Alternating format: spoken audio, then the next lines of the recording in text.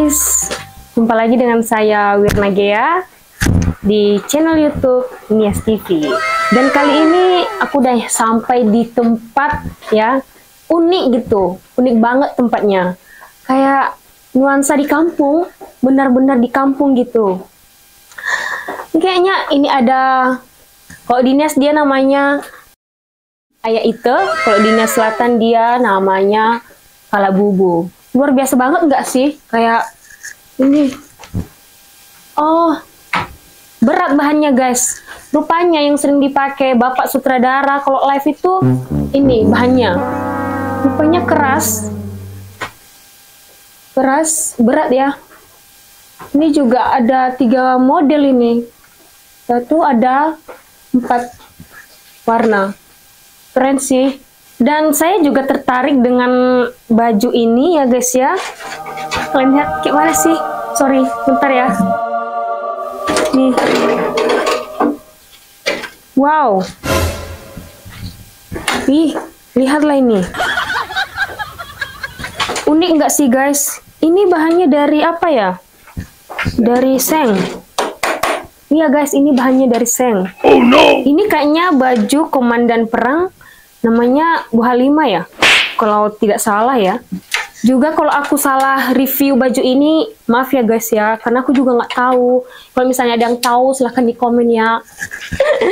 Iya tapi keren banget ruangan ini tau nggak sih? Ini juga pernah saya pakai waktu kecil. Ini kenapa bagus dia? Terdiri dari tiga suara. Apa ya kok nggak salah Faritia, Genda, sama Aramba. Wow. Aku juga nggak tahu benar apa enggaknya, tapi yang aku dengar-dengar juga dari beberapa orang ya, ini namanya tutuhau. Kalau di bahasa Nias, kalau di bahasa Nias. Izin ya. Guys. Oh no. Ini namanya ini namanya mage-mage guys. Kalau bahasa Indonesianya ini ukulele. Oke. Okay. kali barang-barang ini. Wow. Sorry.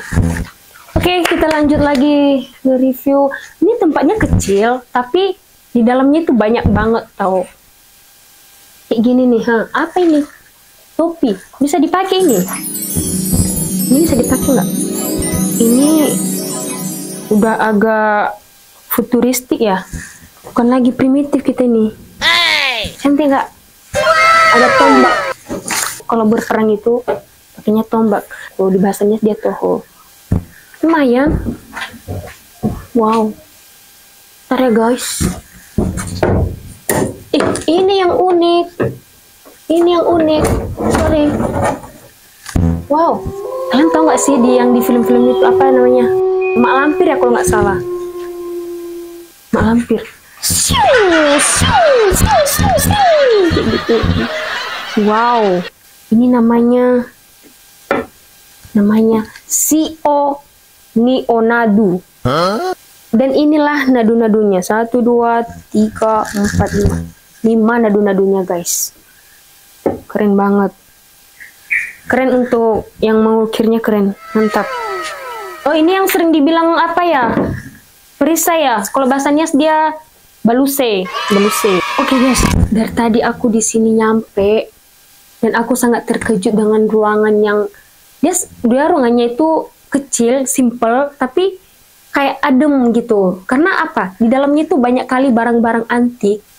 Apalagi kalau udah di kota, nggak akan ada barang-barang yang kayak gini. Tapi kalau di desa mungkin ada. Oke okay guys, jadi setelah aku lihat-lihat nih ya, setelah aku lihat kiri, kanan, belakang, atas, bawah, eh, enggak, keliling lah pokoknya. Kayaknya ini ruangannya cocok lah ya untuk tempat atau markas curhat gitu. Ya enggak sih? Karena tempatnya unik gitu, bagus dia. Dekorasinya keren. Demikianlah vlog aku hari ini. Sampai jumpa di vlog berikutnya di markas curhat. Tetap stay tune di channel YouTube Nias TV. Sama saya, Wirna Gea. Yahoo!